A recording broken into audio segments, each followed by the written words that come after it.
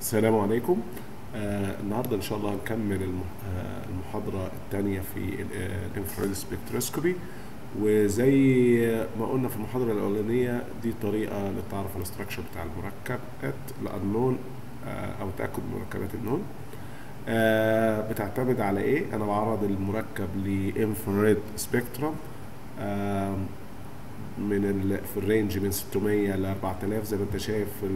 في ال spectrum اللي قدامك اهو من 600 تحت ل 4000 يبقى ده range كبير جدا من ال infrared طبعا ده ال wave number by centimeter minus 1 فكل ال range اللي من 600 ل 4000 بيعدي على المركب تمام؟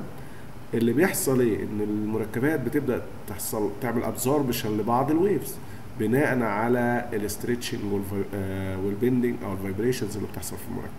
يعني ببساطة أنا المركب بيتعرض لل waves دي وبيحصل فيه vibrations لو ال vibration دي ال frequency بتاعها يساوي ال frequency بتاع ال IR يعمل absorption يعني وانت ماشي كده هو لو المركب مثلا زي ما انت شايف ال spectrum وأنا بعرضك لل spectrum على طول عشان ما.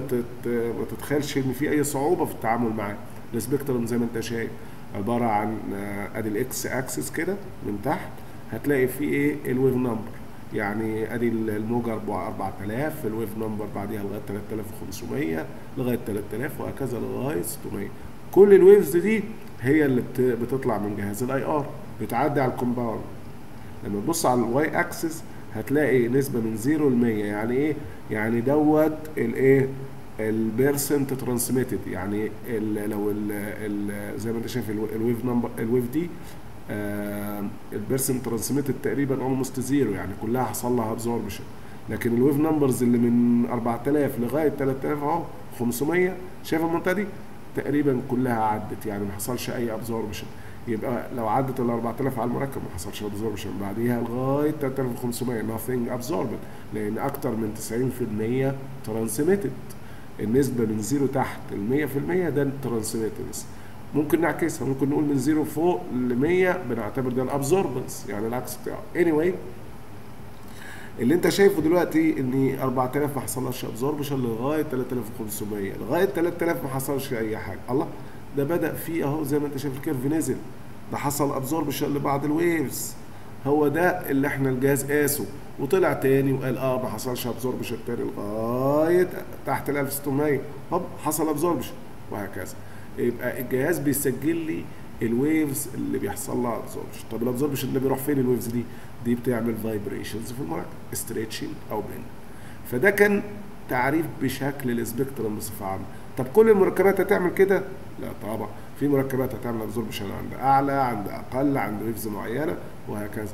طب ده يفيدني في إيه؟ آه بص مثلا لما تلاقي ال spectrum ده يقول لك ال ال ال ال bands دي هنسميها band بقى ال IR band اللي absorbed دي اللي هي تحت ال 3000 دي آه، دي نتيجة لل CH stretching بتاع ال aliphatic system الله يبقى المركب كده لو عمل absorption في المنطقة دي على طول أفهم إن أنا عندي إيه؟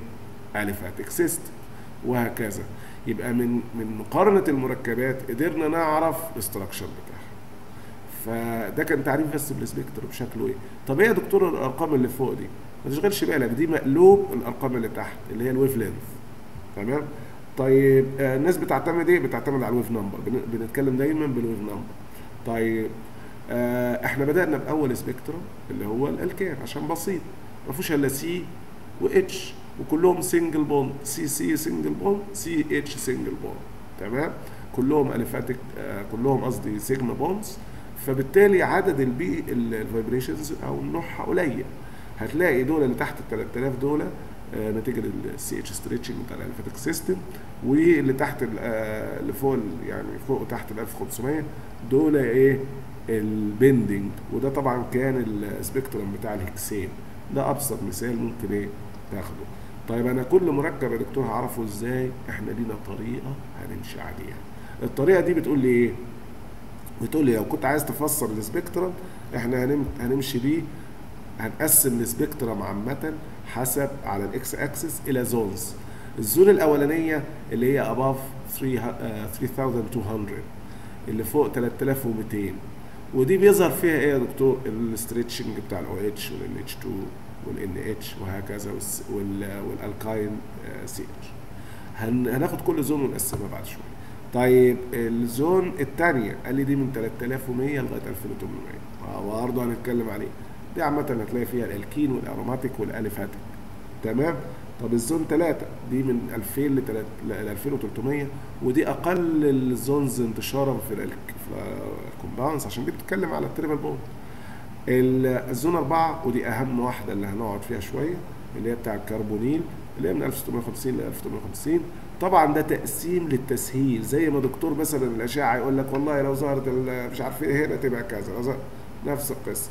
إحنا بنمشي بطريقة ما تخليكش تحفظ أكتر من إن أنت كل مرة هتطبق تبص على ال zones دي. يعني بالتالي كل مرة عينيا هتمشي zone zone وزي ما هنطبق بعد شوية هتبدأ تبص لل spectrum بحيث بسهولة جدا مجرد ما تبص على ال spectrum تقول المركب ده كذا المركب ده فيه كذا المركب ده كذا. وبالمناسبة ال IR ما بيديكش ال structure كله لكن بيديك فكرة عن إيه زي ما أنت شايف كده؟ إيه اللي أنت شايفه؟ آه تمام. ال functional group. يعني يقول لك المركب ده فيه OH بسهولة جدا. ان اتش 2 ان اتش في alkyne في الكين في كربونيل نوعه إيه؟ ester aldehyde keto المنطقة اللي تحت 1650 ال zone 5 دي دي غالبا بتبقى very complex مليانة peaks زي مثلا ليه؟ لأنها أغلبها bending وأنت عدد ال bending كتير. فبالتالي استخدامها بيبقى أقل شوية من المناطق. شوف المناطق اللي فوق 1650 قسمناها لأربع حتت. وعدد ال bands فيها بتبقى قليلة فبالتالي يسهل التعرف عليها. المنطقة اللي تحت إحنا سميناها المرة اللي فاتت إيه؟ حد يفتكر؟ آه ال fingerprint. بس ليها أهمية. ممكن تتعرف على extra information بس زي ما بقول بتبقى targeted يعني انت بتبقى عايز تعرف ال band دي موجودة ولا لأ لكن مش بتفسر كل ال bands اللي موجودة. تمام؟ يبقى بالتالي افتكر إن إحنا عندنا ال IR interpretation zones 5 كل spectrum هنبص عليه. ومنه هنعرف إيه اللي موجود في كل spectrum طب ما تورينا يا دكتور الألكان. آه نبدأ نبدأ بالألكان اللي قلناه من شوية. أنا في zone 1 اللي فوق ال 3200 أنت شايف حاجة؟ لا. يبقى كده معناها إيه؟ فوق 3200 أهو زي ما أنت شايف. مفيش أي حاجة. مفيش حاجة بظلم يبقى مفيش OH مفيش NH طبعا أنا عارفه إنه الكين بس أنا بوريك لو لو ال spectrum ده ما تعرفوش. مفيش OH مفيش NH2 وهكذا. طيب. آه نمسك ال zone الثانية ال zone الثانية دي وانت بمسطرة كده تقسمها إلى فوق ال 3000 وتحت ال 3000 أنا مش هقول أرقام كتير. مسطرة بالظبط. حط المسطرة فين؟ ال 3000 يا دكتور. أهي. أهي. الخط أهو اللي عند اللي عند الصفر الاولاني في 3000 كده. أهو. الله فوق 3000 في حاجة؟ في absorption لا. في bands لا. يبقى ده لا لا aromatic ولا الكي مبدئيا دلوقتي. طيب. تحت ال 3000 الله في bands يبقى على طول ده ال aliphatic CH stretching اتعلم إن أنت تقول المصطلح. كل اللي فوق ال 1600 وأنت طالع على طول stretching فما تتعبش نفسك. أي بقى أي band موجوده دي stretching فوق ال 1600 تمام؟ تحت ال 1600 أغلبهم bending وبعضهم stretching طيب CH لأن ده الكربون bond مع الهيدروجين و aliphatic. فتحت ال 3000 على على طول aliphatic. يبقى أول حاجة وأسهل حاجة تعرف عليها إن أنت تحط المسطرة بتاعتك عند ال 3000 لقيت bands تحتيها اذا عندك إيه سي اتش بتاعت أليفاتيك اس بي 3 سي اتش ستريتش تمام فوق ال 3000 ما لقيتش حاجة يبقى أنت عندك لا aromatic ولا الكين وهنشوف بعد كده مرة. طب دول إيه ده يا دكتور؟ دول ال bending طيب محتاج أحفظهم؟ والله أقدر أقول لك لا لأن أنت خلاص تحت 3000 دي يعني مجرد ما تشوفها دي خلاص انتهت. أنت عندك aliphatic system مش محتاج تتأكد. بس الش... الناس الشاطرة اللي عايز تتأكد هتلاقي دايما تلاحظها فوق وتحت ال 1500 بس ده extra information لأن أنت خلاص اتأكدت. إمتى ال information أنواع. information توضح لك information يعني تقارن أو تطلع لك نتيجة. لكن ال extra information دي أنت وإيه؟ مش هتعرف طيب ده الألكان. بص على الألكين. آه.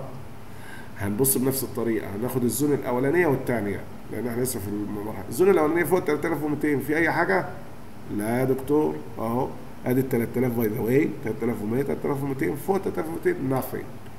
طيب نيجي بقى عند ال 3000 حطينا ال zone ال zone number 2 حطينا المسطرة بتاعتنا.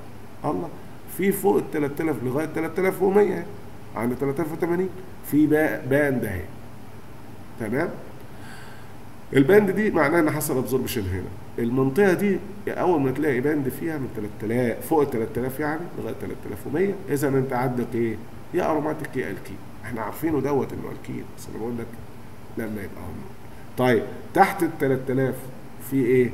في آه 3 bands اهو زي ما أنت شايف. يبقى ده على طول إيه؟ من المرة اللي فاتت CH stretching of alkane أو sp3 stretching تمام؟ وده شيء طبيعي لأن الألكين فيه double bond في C double bond H وفي C عادية H يبقى دول الاثنين وجدوا.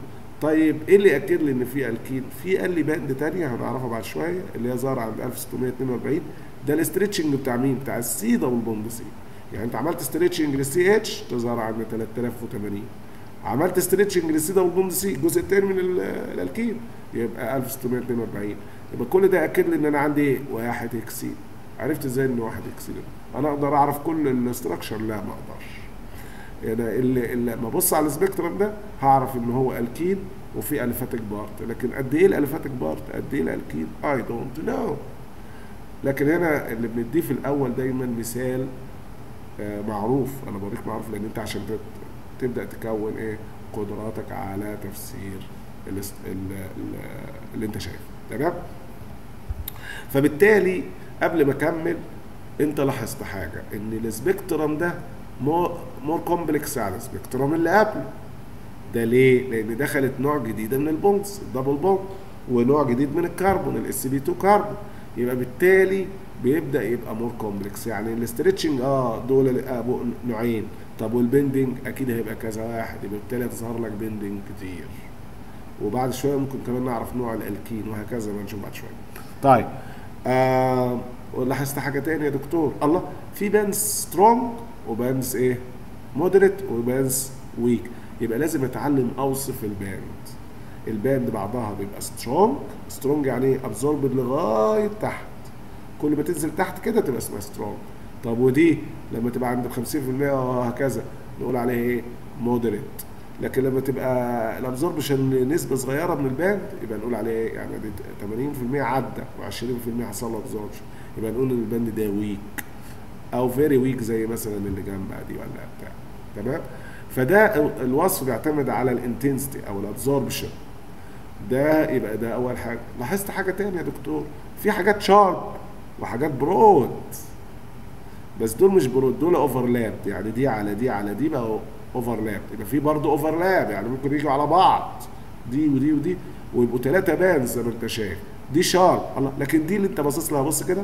آه دي broad يا دكتور. يبقى في sharp يعني رفيعه ال band أو broad زي ما انت شايف هنا أو overlap زي هنا وهنا وهكذا.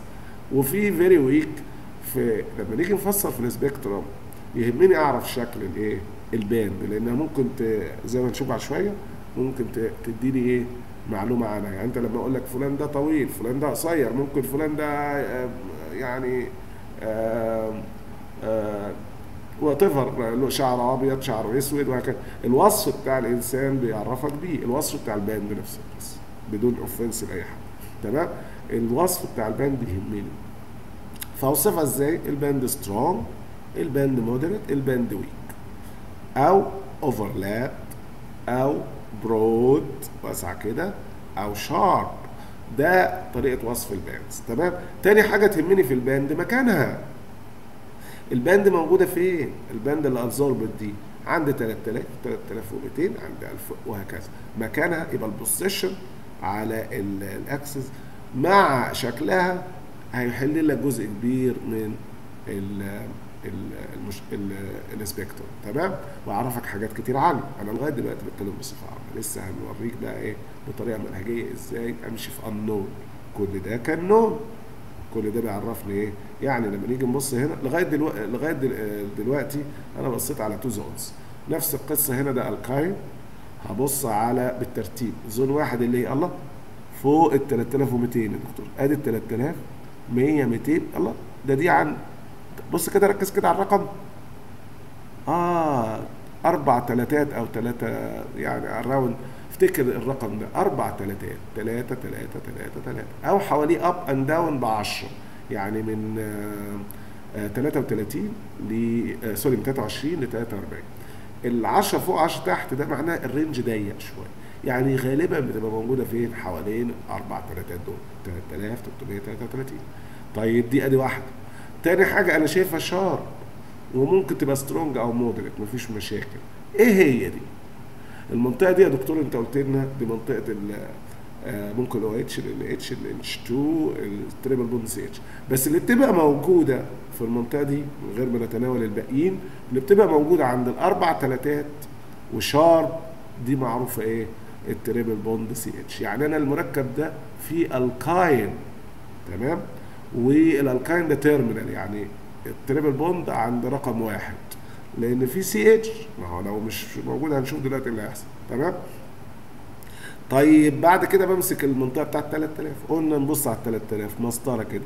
فوقيها ب 100 وتحتيها ب 200 فوقيها ب 100 مفيش حاجة. ما فيش ألكين ولا aromatic. في الغالب. طيب تحتيها ب 200 آه ده نفس ال overlap اللي بلاقيه كل مرة و strong bands و- آه ده يعتبر إيه بقى؟ أنا ما كتبتوش هنا يعتبر إيه؟ تمام. ال CH بتاعت ال aliphatic ال stretching بتاعها بيظهر هنا.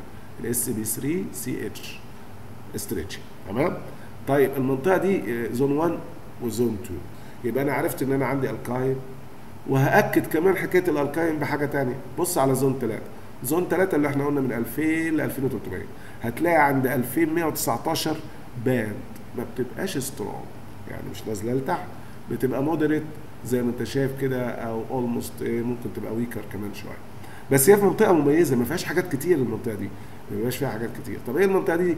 نتيجة لل C triple bond C stretch فاكرين ال C double bond C آه المرة دي ال C triple bond C بتظهر أعلى شوية عند 2119 في المنطقة من 2000 ل 2300 طيب يا دكتور كده أنا اتأكدت إن عندي و- وال alkyne ده terminal يعني آخر الايه اول كربونه هي اللي عليها bond طب يا دكتور لو ما كانش terminal يبقى عندي alkyne طيب يعني إيه مثلا ال triple bond في نص ال- ال chain الله يبقى كده مفيش triple bond CH صح؟